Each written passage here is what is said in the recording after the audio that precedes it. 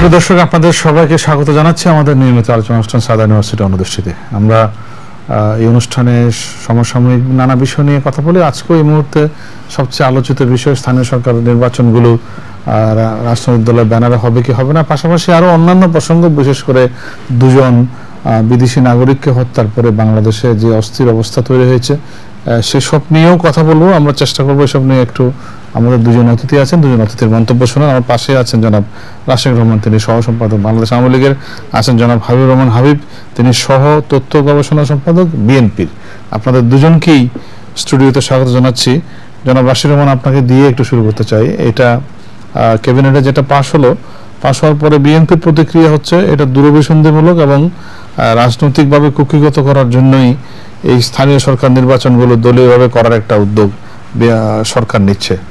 এবং তারা এটা আহ্বান জানিয়েছে না করার জন্য এবং সংসদের প্রতিও আহ্বান জানিয়েছে যাতে এই বিলটি পাশ না করে। প্রথমত যেদিন বিলটি পাশ হলো সেদিন কিন্তু জাতীয়তাবাদী দল থেকে একটা প্রতিক্রিয়া এসেছিল। তাই সেখানে তারা কোনো দ্বিমত পোষণ করেননি। শুধু বলেছেন যে নির্বাচন যদি সুষ্ঠু হয়, সেই ক্ষেত্রে হয়তো এটা ওয়ার্কেবল বাট আজকে আবার একটা নতুন স্ট্যান্ড আমি ওনারা কি মনে করছেন সেই জায়গায় না গিয়ে বরঞ্চ এই বিলটি কেন বাস্তবসম্মত সেই জায়গায় একটু আলোকপাত করতে চাই? বাংলাদেশে যতবারই কোনো স্থানীয় সরকার নির্বাচন হয়েছে, আপনি সবসময় দেখবেন নির্বাচনগুলো দলীয়ভাবে না হলেও কিন্তু আসলে দলীয় নির্বাচনই হয়েছে। এবং দেখা গেছে যে দলীয় সমর্থনের ব্যাপারে কিছু বিভ্রান্তি থাকার কারণে প্রত্যেক শিবিরেই, অর্থাৎ জাতীয়তাবাদী দল বলুন বা বাংলাদেশ আওয়ামী লীগে বলুন, সেসব জায়গায় বিভিন্ন ধরনের দলীয় বিশৃঙ্খলা এবং অশান্তি, গোলযোগের সৃষ্টি হয়েছে। আমি মনে করি বাংলাদেশের রাজনৈতিক অনস্বীকার্য বাস্তবতা হচ্ছে, আপনি যে কোনো নির্বাচনে যান, সেখানে কোনো না কোনো ভাবে এটি দলীয় বিভাজনের ভিতরে পড়ে যায়। এটার বিরুদ্ধে সংগ্রাম করে আপনি পরিবর্তন করতে পারবেন না। এটাই আমাদের মনন, এটাই আমাদের মনস্তত্ত্ব। এবং শুধুমাত্র বাংলাদেশের মনস্তত্ত্ব না, এটা ভারত বলুন, ইংল্যান্ড বলুন, যারা আরও আধুনিক গণতন্ত্র চর্চা জায়গায় এটা প্রতীয়মান হয়েছে। সেই প্রেক্ষাপট থেকে আজকে দুই হাজার পনেরো সালে দলীয় সরাসরি মনোনয়নের মধ্য দিয়ে স্থানীয় সরকার নির্বাচন করলে যেটা হবে, যে যেই বিভ্রান্তি, গোলযোগ এবং বিশৃঙ্খলাগুলো সৃষ্টি হতো, সেগুলো আর সৃষ্টি হবে না, এক। দুই নম্বর হবে, আপনি জানেন যে মার্কিন যুক্তরাষ্ট্র এবং ইংল্যান্ডেও কিন্তু যে কোনো জাতীয় সংসদ নির্বাচনের আগে বা পরে স্থানীয় সরকার নির্বাচনগুলো দলীয় ব্যানারে হওয়ার কারণে যেটা হয় যে সমস্ত দেশে এবং জাতিতে একটি সংকেত, একটি সিগন্যাল পৌঁছে যায়, একটি বার্তা পৌঁছে যায়। অর্থাৎ আদৌ ওই দেশের জনগণ তাদের কেন্দ্রীয় সরকারের উপর খুশি আছে কিনা বা তাদের যে পলিসি বা যে কর্মপ্রণালী বা যে কর্মক্রিয়া, কর্মকাণ্ড তারা গ্রহণ করেছেন, তার সাথে তারা সহমত পোষণ করছেন কিনা এই জিনিসটা প্রকাশিত হয়। এটা বাংলাদেশের ক্ষেত্রে এতদিন ধরে হচ্ছিল না। আপনি দেখুন, উপজেলা নির্বাচন হচ্ছে, সেখানে কয়েকটি পত্রপত্রিকা গণমাধ্যমের মাধ্যমে আমরা শুনতেই পারি যে আওয়ামী লীগ এগিয়ে আছে বা জাতীয়তাবাদী দল এগিয়ে আছে, কিন্তু কিছুদিন পরেই এটা একটা বিস্তৃতিতে রূপান্তরিত হয়। যেহেতু জিনিসগুলো ক্লিয়ারলি ইন্ডিকেটেড না। আজকে দলীয় সমর্থনের মধ্য দিয়ে যে স্থানীয় সরকার নির্বাচন হয়, যেটা হবে, সেটি কেন্দ্রে যিনি থাকুক সরকারে মানে সরকার গঠনে তার পলিসি তার কর্মপ্রণালী, তার কর্মপদ্ধতির সাথে বাংলাদেশের প্রত্যন্ত অঞ্চলের প্রতিটি মানুষ একমত কিনা বা তারা খুশি আছেন কিনা বা তাদের মনের জায়গাটি তারা করায়ত্ত করতে পারছেন কিনা, এই জিনিসটা পরিষ্কারভাবে প্রকাশিত হবে। এবং শুধু তাই না, এটাও আপনাকে বলা দরকার যে বাংলাদেশের যে রাষ্ট্র পরিচালনার এটাকে কি বলে স্ট্রাকচার কাঠামো, সেই জায়গায় কিন্তু দেখা যায় যে জাতীয় সংসদের মধ্যে দিয়ে এবং আমাদের ক্যাবিনেট, মাননীয় প্রধানমন্ত্রীর নেতৃত্বে গঠিত ক্যাবিনেট, মন্ত্রিসভার মধ্য দিয়ে যে পলিসিগুলো নিরূপণ করা হয়, তার একটি সিংহভাগ কিন্তু স্থানীয় সরকারের মধ্য দিয়েই বাস্তবায়ন করা হয়। যেমন ধরেন এই ক্ষেত্রে আমি একটা ছোট জিনিস আপনাকে উদাহরণ দিতে পারি। বয়স্ক ভাতা যেটা এই দেশে এখন চালু চালু আছে, সেটা স্থানীয় সরকারের মাধ্যমে, উপজেলা পরিষদের মাধ্যমে দেওয়া হচ্ছে। আপনি এসজিএস এই নামক একটি সাপোর্ট প্রোগ্রাম আছে লোকাল গভর্নমেন্ট সাপোর্ট প্রোগ্রাম এটাও কিন্তু ইউনিয়ন পরিষদের মাধ্যমে করা হয়। এটা আমি এই কারণে এখানে প্রাসঙ্গিক মনে করি। সেটা হচ্ছে যে কেন্দ্রের সরকার যে সিদ্ধান্ত নেবেন যে পলিসি বাস্তবায়ন করতে চাবেন, সেই সিদ্ধান্তগুলো একটা চ্যানেল মেনটেন করে সে স্থানীয় সরকারে- প্রতিফলিত হচ্ছে কিনা, এটা আমাদের দেখতে পাওয়া বড্ড জরুরি। সে, সুতরাং সেই প্রেক্ষাপট থেকে এই বিলটিকে আমি স্বাগত জানাই। এটা অনেক আগেই হওয়া প্রয়োজন ছিল। আর অনেকেই বিভ্রান্ত হয়ে মনে করেন যে এই বিলটি হওয়ার কারণে যারা নিরপেক্ষ অর্থাৎ সরাসরি ভাবে কোনো রাজনৈতিক দলের সাথে সম্পর্কিত না তারা হয়তো বা নির্বাচন করতে পারবেন না। এই জায়গায় শুধু আমি একটু আলোকপাত করতে চাই যে এই বিল পাশ হওয়ার মধ্যে দিয়ে এখনও নিরপেক্ষ বা স্বতন্ত্র কোনো ব্যক্তি সজ্জন কোনো ব্যক্তি যিনি কোনো রাজনৈতিক দলের সাথে হয়তো বা সরাসরি ভাবে সম্পৃক্ত না তার নির্বাচন করার সুযোগ কিন্তু চলে যাচ্ছে না তিনি করতে হ্যাঁ, পারবেন হাবিবুর রহমান হাবিব। আমি প্রথমে কালিয়াকোর একটি স্কুলের দশম শ্রেণির ছাত্রী কবিতা মণি দাস। তাকে তার স্কুল গেটে বিক্রমচন্দ্র দাস নামে একজন বিবিএ পড়ুয়া ছাত্র, তার প্রেম নিবেদন প্রত্যাখ্যান করার পরিপ্রেক্ষিতে ছুরিতে হাতে আহত করেছে।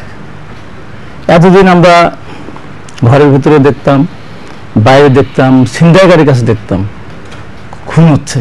আজকে কি দেখলাম? মানে কোথায় যাচ্ছে? তো যিনি নিহত হয়েছেন, সেই কবিতা মণি দাসের প্রতি আমি তার আত্মার প্রতি শান্তি কামনা করে আমি আজকের এই আলোচনা অনুষ্ঠানের বিষয়ে আমি আসতে চাচ্ছি যে গতকাল বিএনপি পক্ষ থেকে যে প্রতিক্রিয়া জানানো হয়েছিল মন্ত্রিপরিষদের সিদ্ধান্ত হওয়ার পর আমি সেই সাংবাদিক সম্মেলনে ছিলাম। সেখানে বিএনপি পক্ষ থেকে সেটিকে অভিনন্দন জানানো হয়নি। দুর্বসন্ধমূলক বলে। দুর্বসন্ধ বলা হয়েছে কারণ হলো যে এটা ঠিক পৃথিবীর অনেক দেশেই তার ইন্ডিয়াতেও আছে, অনেক দেশেই ওই স্থানীয় নির্বাচনগুলো দলীয় হয়। তো সেইটা চিন্তা করলে ওই সমস্ত দেশের পরিস্থিতি, নির্বাচনের পরিস্থিতি, সেখানে নির্বাচন কমিশন বা সেখানে আদার্স আইন শৃঙ্খলা বাহিনী রক্ষাকারী বাহিনী, তাদের যে নিরপেক্ষতা, আর বাংলাদেশের নিরপেক্ষতা তো এক নয়। আপনি দেখেন ইন্ডিয়াতে নির্বাচন কতদিন ধরে হয়? সেখানে কোনো ভোটার কিন্তু এতটুকু আশঙ্কা করে না যে আমি যে ভোটটা যেখানে দিয়ে আসলাম, গুনে কি সেই জায়গায় আমার প্রতীকের পক্ষে কি ভোটটা গুণ- গণ্য করা হবে? কেউ চিন্তা করে না কিন্তু। আর আমাদের দেশে ব্যালট বাক্স নিয়ে দৌড় মানে এবং সেখানে রাতের ভিতরে দেখা যাচ্ছে যে ভোট বাড়তেছে, কমতেছে, করতে হঠাৎ করে দেখা যাচ্ছে যে যখনই যারাই ক্ষমতা থাকে, আমি কাউকে ধরা তুলসীপাতা বলতে চাচ্ছি না। ঘটনা ঘটে যায়। তো সেখানে জাতীয় সংসদ নির্বাচন বা এই মেয়র নির্বাচন আমরা দেখলাম, আঠাশ তারিখে আমরা দেখলাম যে কী কাণ্ড কারখানাগুলো হয়ে গেল। তো এখানে যখন দলীয় ভিত্তিতে হবে মানে আপত্তি নেই। এখন সরকার যেভাবে দমন, নিপীড়ন, অত্যাচার শুরু করেছে, তাতে তো দলীয় ভিত্তিতে তো অনেক জায়গায় এই বিরোধী দলের এরা তো নমিনেশন নমিনেশন পেপারে জমা দিতে পারবে না। তারা দলের মধ্যে আছে তারা। এবং দলের মধ্যে থাকবেও তারা। এই যে মিথ্যা মামলা ষড়যন্ত্র মামলার পরিপ্রেক্ষিতে আজকে বিরোধী দল যে অবস্থা বিশেষ করে বিরোধী দল বলতে আজকে বৃহত্তম বিরোধী দল বিএনপি সে অবস্থাটা। তো সেখানে এই এই পরিস্থিতি হ্যাঁ এটা এটা আমার সেই নির্বাচনের সেই বিশ্বাসতা ফিরে আসলে তো সম্ভব। কিন্তু আমার সেই বিশ্বাসতা ফিরিয়ে আমরা আগেই করা হয়েছে মনে হচ্ছে। আগেই তো করেন যেখানে জাতীয় সংসদ নির্বাচন যেখানে ভোট হয় না ভোট ছাড়া যেখানে এই দেশের সংসদ গঠিত হয়। তিনশো আসনের মধ্যে একশো তিপ্পান্নটা যখন বিনা ভোটে হয়ে যায় তখন সে দেশে তার ভোট লাগে না। একটা আসনের মধ্যে একটা ভোটও না পড়ে, তাও তো সবাই গ্রহণ করতে পারে। তো সেই দেশে যদি আপনার স্থানীয় সরকার নির্বাচন দলীয় ভিত্তিতে হয়, তা সেখানে কি অবস্থা দাঁড়াবে এমনিতে তো।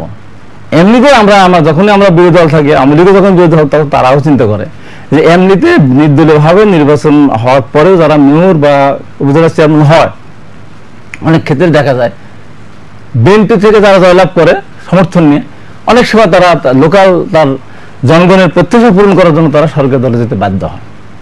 এমপি মন্ত্রীদের অনুষ্ঠানে যেতে তারা বাধ্য হয়। আজকে দেখেন যে বিএনপি সিটি কর্পোরেশন পাঁচটা সিটি কর্পোরেশন জয়লাভ করল। চারটা সিটি কর্পোরেশনের মেয়রা কিন্তু বরখাস্ত হয়েছে। বিভিন্ন ধরনের মামলা দিয়ে গাজীপুরে মান্নান সর্বশেষ। একমাত্র কামাল সাহেব আছে দুই সালে কামাল সাহেব যখন আসে তখন বিএনপি লোকেরাই কিন্তু আজকে প্রশ্ন করতে, কামাল সাহেব তাহলে কীভাবে আসে সে রাস্তা আন্দোলনে নামতেছে না। কোনো একটা কিছু হলে পারে এই অবস্থা। তো সেখানে যদি আপনার দলীয় ভিত্তিতে যখনই আপনার নির্বাচিত হবে, এখন ধরেন একটা জিনিস ছিল, আপনার বাড়ি, সে একটা গ্রাম, আমার একটা ঈশ্বরী থানা, শাহপুর একটা ইউনিয়ন, শাহপুর একটা গ্রাম। আমি যদি গ্রামের যে চেয়ারম্যান প্রার্থী হই, ওই গ্রামের সব আওয়ামী লীগ, বিএনপি, জাতীয় পার্টি, জামাত সবাই কিন্তু ভোট দিবে। না এলাকার ছেলে জাতীয় স্থানীয় নির্বাচন ভোটটা দিয়ে দিই। কিন্তু যখনই দলীয়ভাবে হবে, তখন কিন্তু এটা হবে না। আর যখনই আমি নির্বাচিত হয়ে যাব দলের থেকে তখন আমি কিন্তু অন্যদেরকে আর হিসাবে আনব না। বিএনপি করো, তুমি জামাত করো, তুমি ওইটা, ওই দল করো, তোমাকে আমার, তোমার সার্টিফিকেট ক্যারেক্টার সার্টিফিকেট দেওয়ার ক্ষেত্রে আমার দায়বদ্ধতা নাই। তোমার জমি জমা বিক্রি করবা, কেনার সময় আমার দায়িত্ব নেই, তুমি তো আমার দল করো না। এই যে একটা সুযোগ সৃষ্টি হয়ে গেল। এমনিতেও যে নাচনি বুড়ি, তারপরে ঢোলের বাড়ি। তো অবস্থাটা হয়ে গেছে আমাদের, এই জায়গায় চলে যাবে। তো এই জন্য আমি মনে করি যে এটা করা ঠিক হবে না। এখন এটা এ সময় এখনও হয়নি। আচ্ছা এটা একটু শুনে আসি আপনার বক্তব্য তারপরে আমি।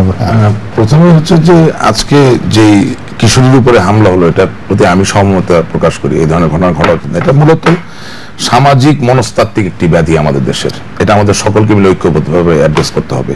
তবে আমি এটাও মনে করিয়ে দিতে চাই মেজর জেনারেল জিয়াউর রহমান সাহেবের শাসনামলের শেষ দিকে কিন্তু নারীর প্রেম প্রত্যাখ্যানের কারণে অ্যাসিড নিক্ষেপের ঘটনাও কিন্তু আমরা দেখেছি। এটাই দেশে চলে আসছে। আমি মনে করি আরও কঠোর আইন করা দরকার।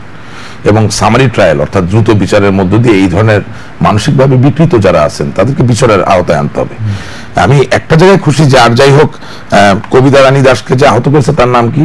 বিক্রম চন্দ্র দাস বিক্রম আমি একটা জায়গায় খুশি যে হাবিব ভাই আর যাই হোক কবিতা রানী দাসকে জাতীয় জাতীয়তাবাদী দলের এবং বিক্রম চন্দ্র দাসকে আওয়ামী লীগের বলে আখ্যায়িত করেন নাই। আমি মনে করি এটা ঐক্যবদ্ধভাবে আমরা নাগরিক হিসেবে দাঁড়ালে এই সামাজিক আমরা মোকাবেলা করতে পারব এটাই মনে করি। নিরপেক্ষতার যে প্রশ্ন আসছে, আমি একটু আগে প্রথম ভাগে যে কথাটা বললাম, যে বাংলাদেশে দলীয় সরাসরি মনোনয়ন ছাড়াও যে উপজেলা নির্বাচন বা ইউনিয়ন- পরিষদ নির্বাচনগুলো হয়েছে, সেগুলো কিন্তু আর যাই হোক সচেতন মানুষরা বিশ্বাস করেন যেগুলো দলীয় নির্বাচনী হয়েছেন নিরপেক্ষতা না থাকলে আপনার দলীয় মনোনয়ন থাকুক বা না থাকুক কখনোই আপনি ভালো নির্বাচন পাবেন না। নিরপেক্ষতা অবশ্যই একটা শর্ত, আমি ওনার সাথে একমত। আর ভারতের নির্বাচনের কথা তিনি যেটা বলেছেন, আমার মনে হয় ভারতের উনিশশো সাতচল্লিশ সালের পর থেকে ভারতের নির্বাচনী যে সহিংসতা, সেই পরিসংখ্যান যদি হাবিবুর রহমান হাবিব ভাই নেন, আমি ওনাকে আহ্বান জানাই, তাহলে আমার মনে হয় বাংলাদেশের যে কোনো নির্বাচনের সহিংসতাকে তারা হার মানিয়ে দিতে সক্ষম হবে। এগুলো সবই রেকর্ডেড আপনি ইন্টারনেটে গেল ভারতে প্রত্যেক নির্বাচনে স্থানীয় হোক বা কেন্দ্রীয় হোক, এতে যে সহিংসতা হয় এবং এতে যে হতাহতের সংখ্যা মানে যেসব লোকজন নিহত হন, আহত হন, এটা অচিন্তনীয় একটা নাম্বার তারা এখনও প্রতিনিয়ত কাজ করছেন এগুলোকে ঠিক করার জন্য। আমরা তারা আমাদের বন্ধু প্রতিম দেশ আমরা আশা করি তাদের এই পরিসংখ্যানের দিক দিয়ে সংখ্যাগুলো কমে আসবে এবং আমাদের দেশেও সহিংসতা বাড়বে না, বই কি কমবে। আচ্ছা মেয়র নির্বাচনের যে কথাটা বললেন দেখুন, মেয়র নির্বাচনের সাথে আমি সরাসরি ভাবে জড়িত ছিল জড়িত ছিলাম। আমার নিজের কাছেই মনে হয়েছে, ঢাকা সিটি কর্পোরেশনের মেয়র নির্বাচনের ব্যাপারে জাতীয়তাবাদী দল খুব একটা আন্তরিক ছিলেন না। তারা সমস্ত প্রথম থেকে একটা ফাঁদ পেতে রেখেছিলেন, যাতে করে তারা সমস্ত জাতির কাছে দেখাতে পারেন যে এই নির্বাচনে আমরা কারচুপি করেছি। কিন্তু শত চেষ্টার পরেও তারা সেটা প্রমাণ করতে পারেননি। আমরা আমাদের মধ্যে নির্বাচন করেছি, ওনারা নির্বাচন ছেড়ে চলে এসেছেন। এখন নির্বাচন ছেড়ে চলে আসলে যখন নদীর দুটা স্রোত থাকার কথা, একটা উপরে আর একটা নিচে, যখন একটা স্রোত বন্ধ হয়ে যায়, তখন তো নদীর পার কিছুটা হলেও ভাঙে। এটাই বাস্তবতা। আমার মনে হয় সত্যকে সত্য বলা দরকার। আর একশো তিপ্পান্নটা আসনের কথা বলেছেন, আমি বারবার সব টকশোতে বলি জাতীয়তাবাদী দল দুই সালের পাঁচই জানুয়ারি নির্বাচনে আসলে খুবই ভালো হতো। কিন্তু তারা নিজেদের ক্ষমতার লিপসাকে সহজে চরিতার্থ করার জন্য, সহজে চরিতার্থ করার জন্য স্ব বেগম খালেদা জিয়া একক সিদ্ধান্তে এই নির্বাচনটিকে প্রত্যাখ্যান করেছেন। উনি এই নির্বাচনে যাননি, বরঞ্চ এই নির্বাচনে তিনি বিরোধিতা করেছেন। সুতরাং এমত অবস্থায় কোনো কিছু হলে এটার জন্য আমাদেরকে দায়ী আপনি করতে পারবেন না। তবে আমরা দুঃখিত যে জাতীয়তাবাদী দল আসেনি। আমরা দুই হাজার উনিশ সালের নির্বাচনে আসার জন্য তাদেরকে আহ্বান জানাই। আর অনুষ্ঠানে যাওয়ার কথা হাবিব ভাই বলেছেন উনি আমার অনেক সিনিয়র পলিটিশিয়ান তবে উপজেলা চেয়ারম্যানের যেই ওয়ারেন্ট অফ প্রেসিডেন্সের যেই জায়গা সরকারের, সেখানে অত্র এলাকার উন্নয়নমূলক কাজ করার জন্য কোনো মাননীয় মন্ত্রী বা কোনো মাননীয় সংসদ সদস্য গেলে এখানে জোর করার কিছু নাই। এটা খুব স্বাভাবিকভাবেই আনুষ্ঠানিক যে সরকারি অনুষ্ঠানগুলো সেখানে তাকে যেতে হয় বা তিনি যান। আমি একটু আমার ওনার কথাগুলো একটু উত্তর দিয়ে নিন তো জিনিসটা হবে না। আর আহ, কামাল সাহেব এখনও মেয়র আছেন কারণ কামাল সাহেবের নামে কোনো ফৌজদারি দণ্ডবিদের আওতায় কোনো মামলা নাই। আমি ওনাকে ঠিক করে দিতে চাই। দুই নাম্বার উনি যেই প্রক্রিয়ায় লোকাল গভর্নমেন্ট স্থানীয় সরকার নির্বাচন করতে চাচ্ছেন, তাতে করে ওনার কথা এটাই প্রতীয়মান হয়, জনগণের স্বার্থ, জনগণের উন্নয়ন, জনগণের সমর্থনের থেকেও তিনি বাংলাদেশের মতো একটি ছোট দেশে, যেখানে সবাই আমরা একই ভাষায় কথা বলি, সেখানে আঞ্চলিকতাকে উনি বেশি প্রাধান্য দিচ্ছেন। আমার মনে হয় না দু হাজার পনেরো সালে যখন ডিজিটাল বাংলাদেশকে অনুসরণ করে ইন্ডিয়া হচ্ছে ডিজিটাল ইন্ডিয়া, সেই সময় আঞ্চলিকতার উপর নির্ভর করে অদৃশ্য এক বিভেদ অদৃশ্য এক বৈপরীত্যের মধ্যে আমরা আর থাকব। আমাদের এর থেকে বেরিয়ে আসতে হবে। আর সাংবাদিক সম্মেলন একটা কথা শেষ করে দিচ্ছি। আমি এগারোই অক্টোবর আরেকটি প্রখ্যাত টিভি চ্যানেল টকশো করেছিলাম। ঠিক তার আগে জাতীয়তাবাদী দলের পক্ষ থেকে এই বিলটির ব্যাপারে একটি প্রতিক্রিয়া এসেছিল। এবং সেখানে তারা বলছিলেন যে এতে তাদের কোনো দ্বিমত নাই। তবে এটাকে আরও ঘেটে দেখতে হবে আরও বিশ্লেষণ করতে হবে। আমার কাছে এটাই আসছে আশ্চর্য লাগে যে জাতীয়তাবাদী দলের এই দৈন্য দশা যে একটি বিল সূর্যালোকের মতো জলজ্জন্ত একটি আইন বাংলাদেশে পাশ হচ্ছে সেটার জন্য তাদেরকে দুই দফায় দুই রকম সাংবাদিক সম্মেলন করতে হয়। আমি খুব দুঃখিত। না ঠিক আছে কথা বলে এখন কেউ যদি না বোঝে তো বলার তো কিছু না। কম বুঝি। আমার যদি দুই কান কাটা যাওয়ার পরে বলে যাওয়ার কান কাটা যায় নাই। সিটি কর্পোরেশন নির্বাচন কীভাবে হয়েছে তিনটা এটা বাংলাদেশের পত্রপত্রিকা থেকে শুরু করে বাংলাদেশের যত ধরনের এখানে যারা নির্বাচন সংশ্লিষ্ট থেকে শুরু করে বিদেশ পর্যন্ত প্রত্যেকেই বলেছে নির্বাচনটা সঠিক নির্বাচন হয়নি। তো তারপর যদি কেউ বলে তো বলার কিছু নেই ওই তর্কে আমি যাব না। আর একটা কথা বলুন যে ইন্ডিয়া ইন্ডিয়া যেখানে সহিংসতা হয় ইন্ডিয়া ভোট হয় বলে তো সহিংসতা হয়। আমার কিন্তু ভোট দরকারই পড়ে না। তো সহিংসতা হবে কি? এখন ভোট পৃথিবীর কোথাও কি আছে? যে তিনশো আসনের মধ্যে একশো তিপ্পান্নটা বিনা ভোটে হয়ে যায়, পৃথিবীর কোথাও আছে। পৃথিবীর কি কোথাও আছে যে বিশ দলীয় একটা কে সরি মহা একটা মহাজোট? একটা মহাজোট নিজেরা নির্ধারণ করে নিল, আমি কুমিল্লা, তুমি নোয়াখালী, তুমি সিলেট এবার ভাগ করে নিয়ে একশো তিপ্পান্নটা আসন তারা নিজেরা নিজে ভাগাভাগি করে নিল। নির্বাচন ভাগাভাগি জিনিস, এবং বর্তমান প্রাইম মিনিস্টার উনি বলেছেন একদিন বিএনপি আসে বিএনপিতে কিছু পাইতো এই নদীর পানি, খালের পানি শেষে মাছ ভাগ করে নেওয়া নির্বাচনটিকে তাই নির্বাচন মানুষ ভোট দেবে। তারপরে যেগুলি হয়েছে, সেগুলি তো ভোট হয় নাই। আওয়ামী লীগের লোকেরা মনে করছে একশো তিপ্পান্নটা আসন নির্বাচন আমরা জিতে গেছি সরকার গঠন করব। গেলেই বাকি ভোট কেন্দ্রে না গেলেই বাকি ভোট যায়নি। তো এসে প্রহসন এবং এসব কি বলছে? আওয়ামী লীগের দেখার জন্য অপেক্ষা করতেছে। সে আবার কে? সে হলো প্রধানমন্ত্রী হলো বিশেষ দূত। তো এই যে যে বাংলাদেশটা কোথায় যাচ্ছে? আমার কথা দেশটা তো আমাদের সবার। এখানে আমরা এই শুধু ক্ষমতা থাকার জন্য আমরা যা শুরু করছি, এর পরিণতি খুব খুব খারাপ। আমি একটা জিনিস আপনাকে বলি, যে আজকে উনি আরেকটি কথা বলেছেন, যে, ও, আরেকটা যে জিনিস আমি বলি, যে এখন যে জিনিসটা, এই বর্তমান আমাদের গঠনতন্ত্র সংশোধিত হয়ে এই যে এইবার যে নির্বাচনটা হলো দু চোদ্দ সালে, সেখানে কিন্তু সেখানে কিন্তু আছে যে সংসদ সদস্য পদত্যাগ করেন নাই। একটা সংসদ শপথ নিবে, তারপরে সংসদ ভেঙে দিয়ে নতুন সংসদ হবে। কিন্তু এইবার যে এই যে স্থানীয় সরকার নির্বাচনে কিন্তু এখানে আইন করা হয়েছে। যখনই তার মেয়াদ পার হয়ে যাবে, পাঁচ বছর যখন পূর্ণ হয়ে যাবে, তখন যখন নির্বাচনটা হবে, তখন কিন্তু সে নিয়োগ থাকতে পারবে না। সে চেয়ারম্যান থাকতে পারবে না, সেখানে কিন্তু প্রশাসক নিয়োগ করা হবে। এই জায়গায় ধরেন বিএনপি পঞ্চাশ জন আছে আওয়ামী লীগের বা সরকারের পক্ষে পঞ্চাশ জন আছে। যদি মেয়র পঞ্চাশ এর পঞ্চাশ জন থাকবে ওই পনেরো। তারপর নির্বাচনে সে যেতে তাহলে সে আবার পুনরায় সেখানে শপথ গ্রহণ করবে আর না যেতে পারে তার আর যে জিতবে তাকে বুঝিয়ে দিয়ে আসবে। কিন্তু এখন যেই নির্বাচন শুরু হবে তখন সবগুলি পদত্যাগ করতে হবে। এবং সেখানে সরকার নিয়োগ কে, প্রশাসক নিয়োগ করবে। তার মানে একশোতে একশো। একশোতে একশো যখন মেয়র কে নিয়োগ করে দেবে তখন ঘটনাটা কোন দিকে যাবে? তো এই যে এটা থেকে আমাদের বেঞ্জুর মুখপাত্র ডক্টর আসাদুজ্জামান রিফন বলেছেন সবাই বলছে। এখানে এখানে ভালো কিছু তো এখানে দেখার আমি কোনো জিনিস দেখতেছি না। জাতীয় সংসদের নির্বাচন, পার্লামেন্ট মেম্বাররা থাকবে পর্যন্ত, আর এরা ওই সময় পদত্যাগ করে তাদেরকে নির্বাচন করতে হবে। এরা দুই রকম আইন হয়ে গেল না? তারপর এখন দেখেন, এই যে কয়েকদিন আগে নির্বাচন হলো ধরো আমরা সিটি কর্পোরেশন নির্বাচন হলো, ঢাকাতে চিটাঙে তাহলে এখন কি হবে? এদের কি হবে? এরা তো নির্বাচন করছে, দলীয় ভিত্তিতে না। কেবল তো এদের বয়স এক বছর তো এখনও হয়নি, এখন ছয় মাস সাত মাস হলো। তাহলে এখন কি এই নির্বাচন আবার হবে এখন?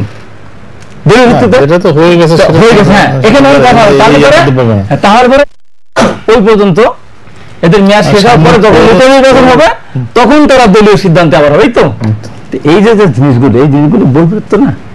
এখন আমি জিনিসটা বলছি আজকে বাংলাদেশে আমি দিয়ে যাই আমরা এখানে টক শোতে আসি কেউ আমরা কাউকে শুরু করতে চাই কেউ আমরা বড় হতে চাই আমাদের উদ্দেশ্যটাকে জাতির সামনে আমাদের যে জিনিসটা বিশ্বাস করেন দাদা আমরা ধরেন যত বড় স্টুডেন্টরাই হয় না কেন এই দেশটা স্বাধীনতা আন্দোলন থেকে শুরু করে সব ক্ষেত্রে কিন্তু আমার কিছু না কিছু না অংশগ্রহণ আছে।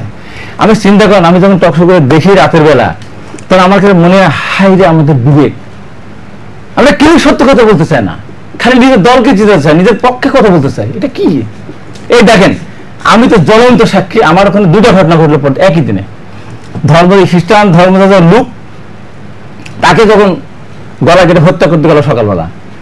টেলিভিশনে দেখলাম যে শিবিরের উবায়দুর রহমান নামে একজনকে গ্রেপ্তার করা হয়েছে। উবায়দুর রহমান এবং ভাগ্যক্রমে ওই আমার ইউনিয়নের বাড়ি, আমার গ্রাম শাহপুর ওর বাড়ি আতাপাড়া। এবং উবায়দুর রহমানের বাবা আব্দুল সালাম সে আমলিক করে। উবায়দুর রহমানের ওই পরিবারের ও জামা শিবির করা তো দূরের কথা, ওর ধারে কাছে না, আরও বিরুদ্ধে আরও গালাগালি করে। তারে প্রথমে শিবির বানাই দিল।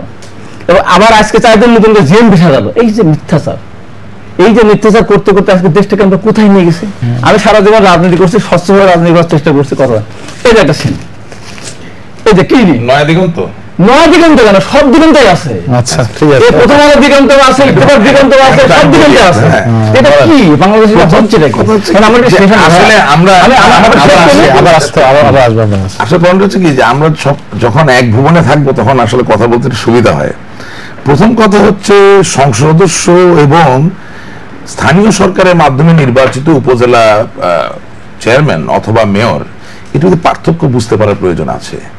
প্রথম কথা হচ্ছে উপজেলা চেয়ারম্যান অথবা মেয়র সাহেবকে সাংগঠনিকভাবে, গঠনতান্ত্রিকভাবে, সরকারিভাবে এক্সিকিউটিভ নির্বাহী ক্ষমতা অনেক বেশি দেওয়া থাকে। জাতীয় সংসদের কোন সংসদস্যের কিন্তু কোনো নির্বাহী ক্ষমতা নাই, এটাই বাস্তবতা। সুতরাং প্রশাসনিক ক্ষমতা বলে যিনি একটি পদে আছেন, তার যখন মেয়াদ শেষ হবে সেই মেয়াদের পরে তাকে আর নিজেকে নিজে রেজিগনেশন বা অব্যাহতি পত্র দেওয়া লাগে না। সেই জায়গায় প্রাকৃতিকভাবে প্রশাসক আসবেন। এটা খুবই যুক্তিসঙ্গত। যিনি আইন প্রণেতা যার কোনো নির্বাহী ক্ষমতা নাই, সেই জায়গায় পৃথিবীর বিভিন্ন দেশে বিভিন্ন রকম চল আছে। আমাদের দেশের এটাই আইন।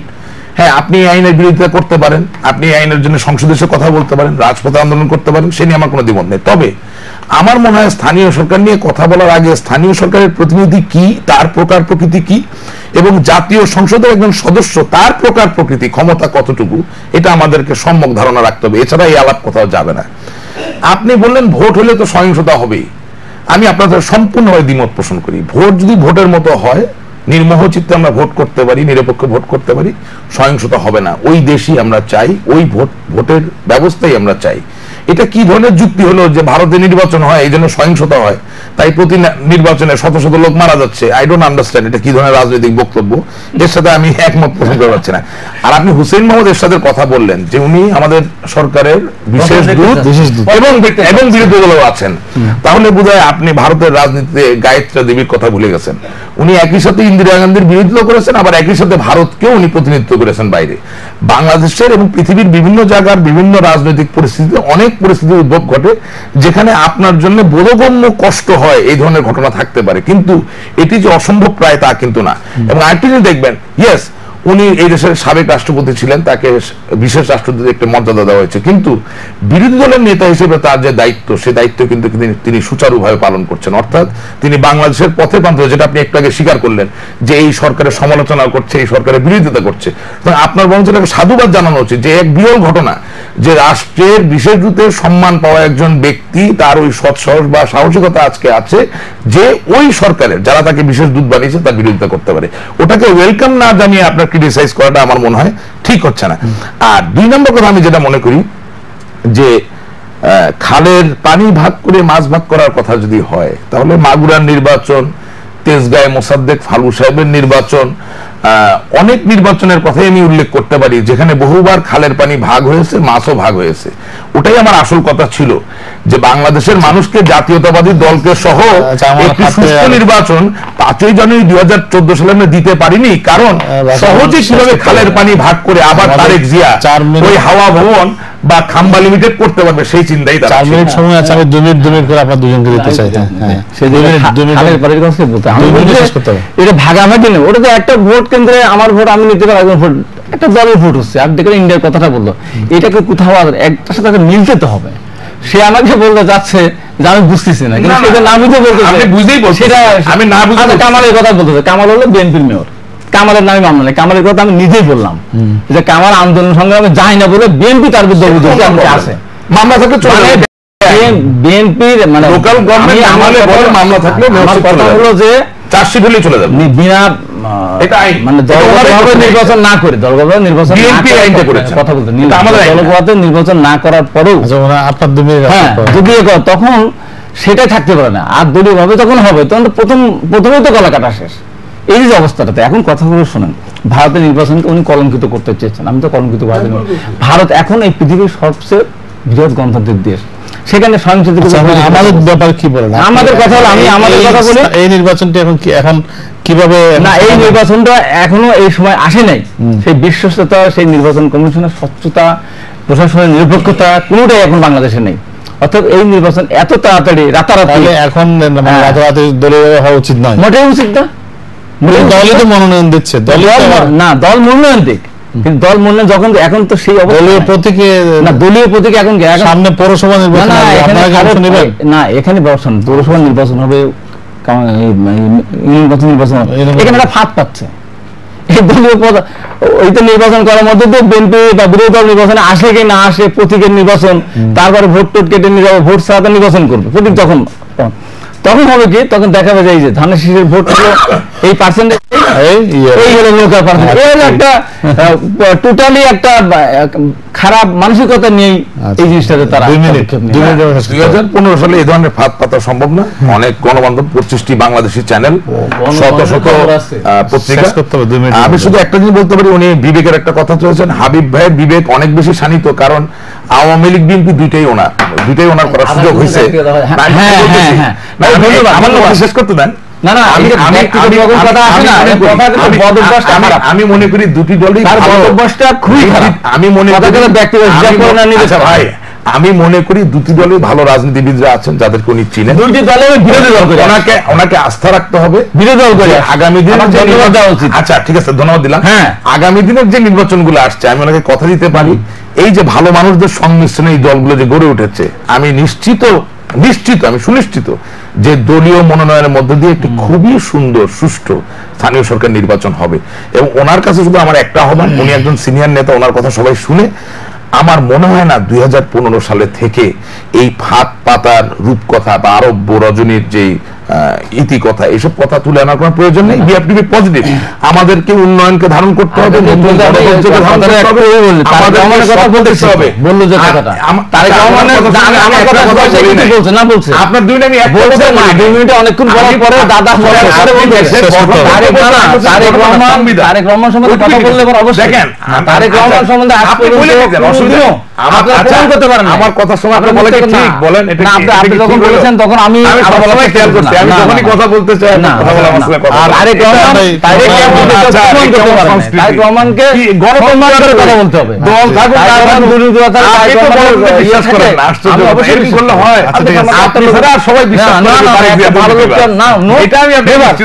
তারেক রহমানের বান্ন করে দেখার জন্য তারা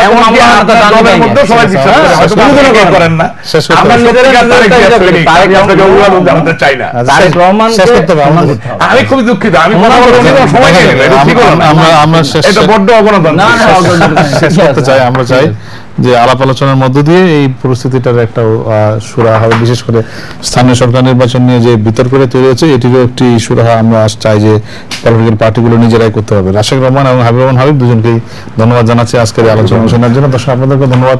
অনুষ্ঠান দেখার জন্য সবার জন্য শুভকামনা সবাই ভালো